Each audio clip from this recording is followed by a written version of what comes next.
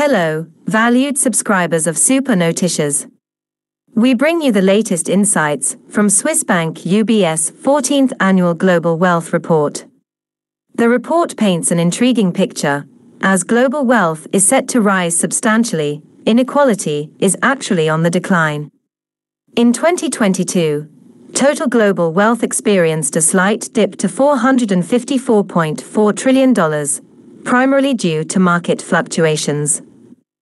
However, global median wealth, which offers a better understanding of the typical person's financial status, increased by 3% during the same period.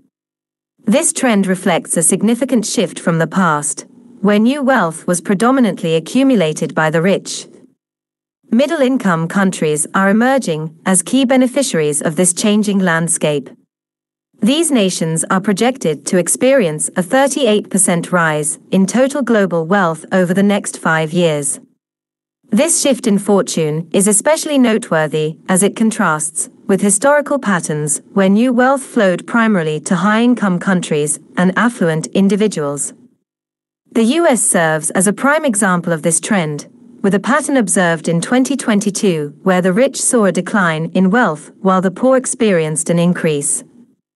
Millennials and Hispanic Americans are notably among those who saw their wealth grow during this period, with housing wealth being a significant factor in this positive change. In conclusion, global wealth is undergoing a transformation, with the middle class in various countries experiencing impressive growth. While challenges remain, this shift signifies a positive stride toward a more equitable distribution of wealth.